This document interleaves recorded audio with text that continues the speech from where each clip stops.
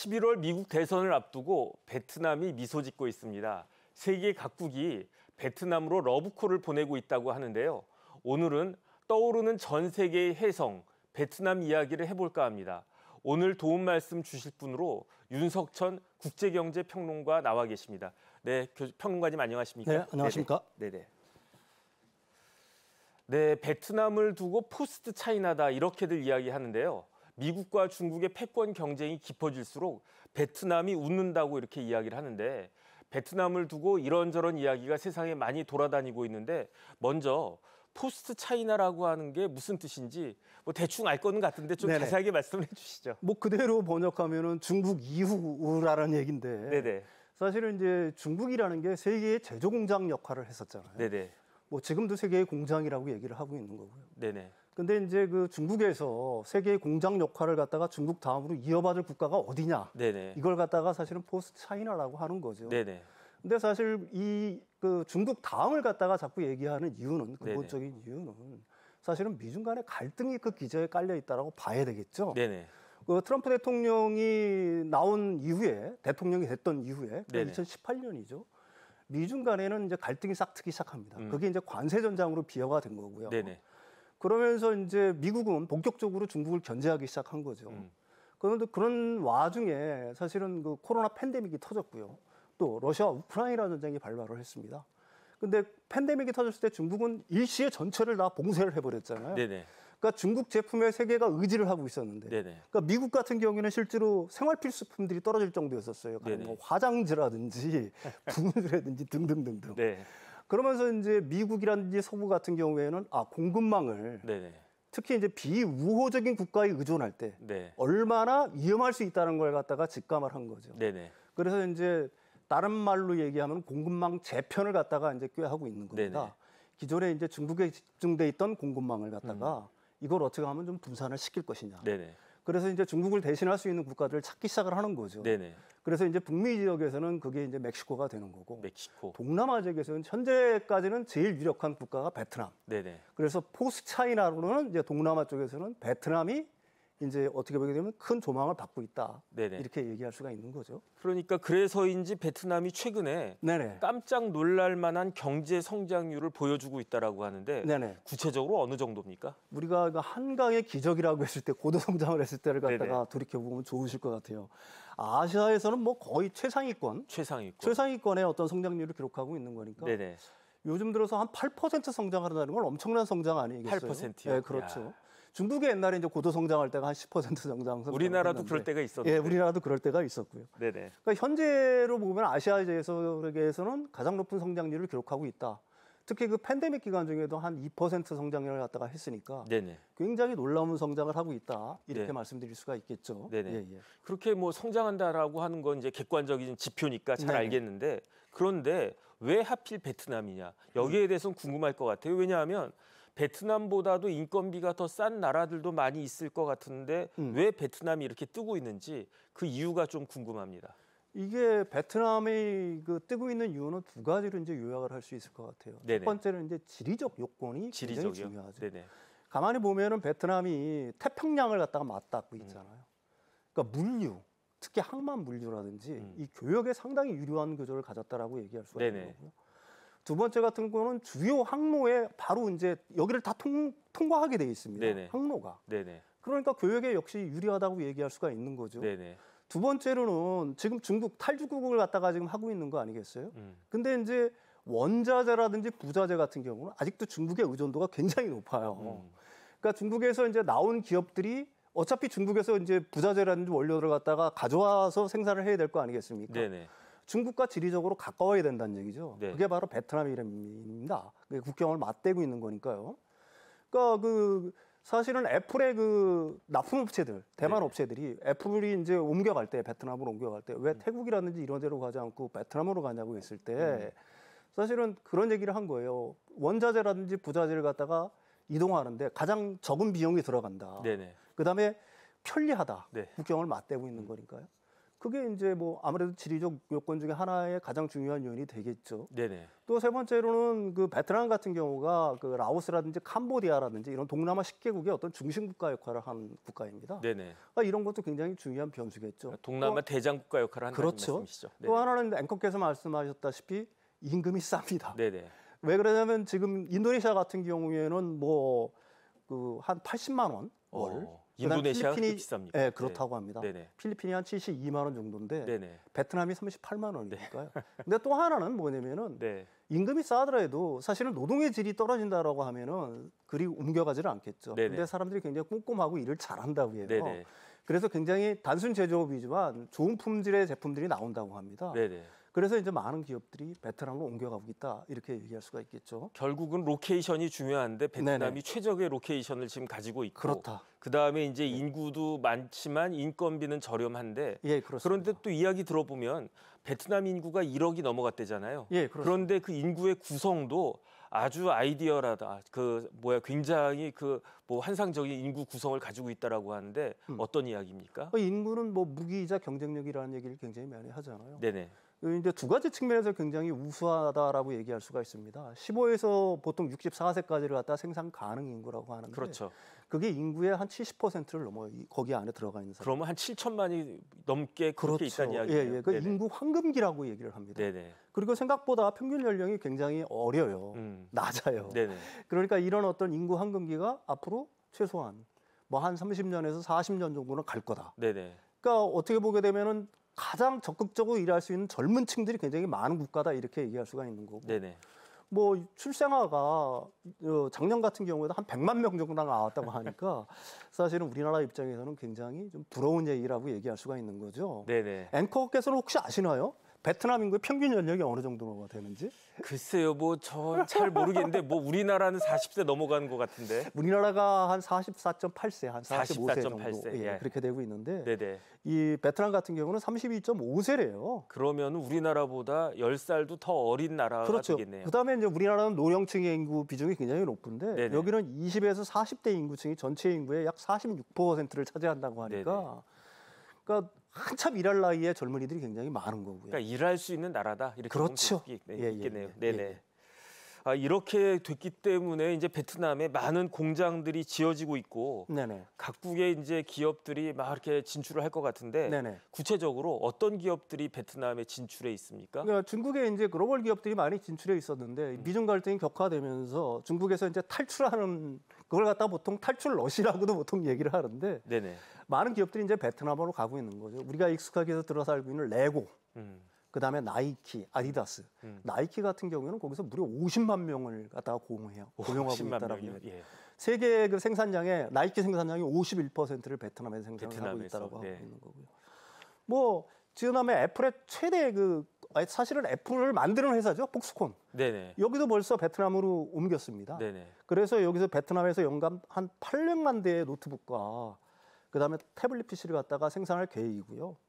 지금 현재 뭐 앞으로도 어떤 중국에서 그 일종의 탈출하는 글로벌 기업들은 베트남에다 굉장히 많은 어떤 둥지를 틀 것이다. 네네. 그렇게 예상이 되고 있습니다. 그 우리 삼성전자도 베트남에 아주 진출한 지가 오래됐고 많은 사람들 고용하고 있지 않습니까? 95년부터 사실은 진출했고요. 95년부터. 네. 예, 예. 지금까지 이제 평론가님 말씀하신 거 종합해 보면 음. 네네. 베트남이 이렇게 뜬 게 첫 번째 지리적 위치가 아주 좋다. 그렇죠. 두 번째 인구가 많다. 그다음에 인구가 또 그 임금도 네네. 굉장히 이렇게 좋은 임금이다. 그러니까 기업들 입장에서 보면. 그 다음에 이제 미중 갈등의 영향도 있다. 네네. 이렇게 세 가지를 볼 수 있을 것 같은데 네네. 그렇다라고 하면은 뭐 강대국들도 네. 이제는 베트남을 만만하게 볼 수 없는 그런 상황이 됐겠습니다. 그렇죠. 그 작년에 굉장히 어떤 상징적인 어떤 사건, 이벤트가 하나 발생했죠. 네네. 작년에 이제 인도에서 G20 정상회의가 열렸는데 네네. 그 정상회의가 끝나자마자 네. 바이든이 베트남으로 달려갔습니다. 바이든이 바이든이 네네. 베트남으로 달려갔어요. 이쪽에 서기장이 미국으로 달려간 게 아니라 네. 미국의 대통령이 베트남으로 달려간 겁니다. 네네. 그래서 거기서 뭘 맺었냐면은 포괄적 전략 동반자 관계라는 걸 맺었습니다. 네네. 사실 이게 포괄적이라는 거는 굉장히 의미가 굉장히 깊은 거예요. 외교라든지 뭐 경제 이런 쪽에 어떤 그 양국 간의 어떤 동맹 아니 동맹이 아니라 어떤 관계를 동반자. 의미하는 네네. 게 아니라 네. 사실은 군사적 부분까지 이게 포함이 되고 있는 거기 때문에 네. 최상급의 어떤 외교 관계라고 얘기할 수가 있는 거죠. 네. 그다음에 동반자 관계라는 거는 상호 대등한 관계에서 우호적인 관계를 맺는다는 얘기 아니겠습니까? 네. 뭐 그런 의미에서 굉장히 중요하다고 얘기할 수가 있는 거고요. 베트남 입장에서 보게 되면은 포괄적 전략 동반자 관계를 갖다가 이제까지 총 4개국하고 맺고 있는 겁니다. 네네. 그러니까 중국, 네. 러시아, 인도, 한국 거기에 이제 아... 미국이 포함되어 있는 거고요. 네네. 미국이 베트남을 얼마나 뭐 어떻게 보게 되면은 좀 중하게 생각하느냐를 갖다가 보게 되면은 네. 지금 이제 그 대사관을 짓는다고 해요. 베트남에다가. 네. 근데 미국 대사관 중에서는 세계에서 가장 비싼 그, 그런 어떤 대사관을 짓는다고 합니다. 이게 어떻게 보게 되면은 네. 상징적인 의미가 좀 있다라고 얘기할 수가 있겠죠. 아니 예, 예. 미국하고 베트남은 옛날에 싸웠던 나라 아니겠습니까? 아, 그렇죠. 그런데 지금 예. 또 이렇게 세상이 바뀌었다. 예, 예. 그러면 네네. 그 미국의 가장 큰 경쟁자라고 할 수 있는 패권 경쟁을 하고 있는 나라가 중국인데 네네. 중국은 지금 가만히 있습니까? 중국이 어땠을 것 같을까요? 뭐 중국도 굉장히 신경이 쓰였을 것 같은데. 그 일반적으로는 중국이 좀 먼저 포괄적 뭐 동반자 관계를 맺었으니까 화를 낼 것도 같은데 네네. 시진핑이 바로 넘어옵니다. 시진핑이. 시진핑이 넘어와요. 네네. 바이든이 다녀간 후에 그 시진핑이 넘어와가지고 그 이게 우리 더 잘 지내자. 네. 뭐 이런 식의 이제 얘기를 하고 있는 거죠. 그럴 수밖에 없는 게 현재 베트남은 아세안에서 중국의 최대 무역 상대국입니다. 네네. 그다음에 중국에 있어서는 세계 네 번째. 네. 그러니까 제일 큰 게 이제 미국, 음. 일본, 그다음에 한국, 중국의 교역 국가인데요. 그다음에 네 번째가 바로 베트남이에요. 네네. 그러니까 굉장히 중요하다라고 얘기할 수가 있는 거고요. 양자간 무역액이 2008년에 26조 원에서 네. 22년에 240조 원으로 무려 9배나 증가했습니다. 네네. 그러니까 베트남하고 중국 간에요. 그다음에 베트남 투자 자체는 2008년에 2조 원에서 현재는 38조 원에까지 10배 이상 증가한 거예요. 그러니까 그 어떻게 보게 되면 중국도 외교를 갖다가 뭐 승질내지 않고 잘한다라고 얘기할 수가 있는 거죠.